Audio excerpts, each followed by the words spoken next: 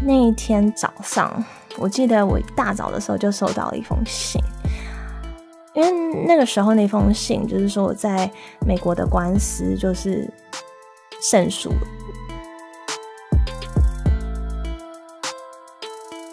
歌手王力宏与前妻李静蕾离婚后，一举一动仍受到外界关注。这周他将在泰国举行演唱会，前妻李静蕾昨日却无预警发文写道：“明天线上见。”话题引发讨论。对此，李静蕾稍早宣布，原来是自己将推出 podcast 节目《沉浸时间》，首集便分享美国官司胜诉的心情。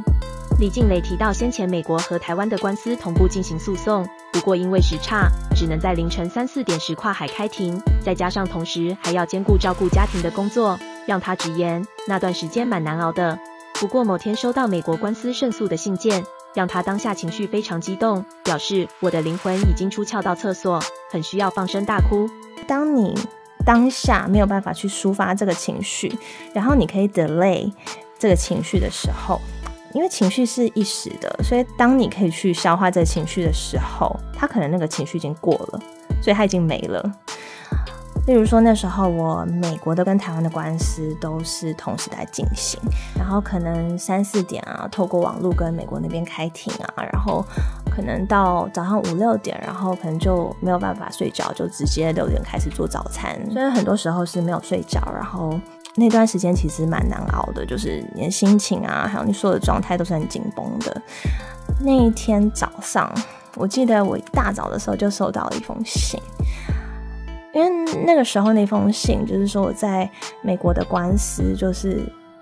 胜诉。那那时候我其实情绪很激动，就是觉得说很需要。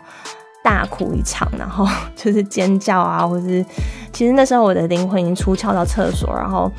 很需要就是放声大哭。对此，王力宏也透过律师反击，声明中提到，法律讲的是事实，不是感觉。针对李小姐 Podcast 说美国胜诉之前，王力宏先生律师已说明过，是因为管辖权的原因移回台湾审理，没有所谓胜诉确定事宜。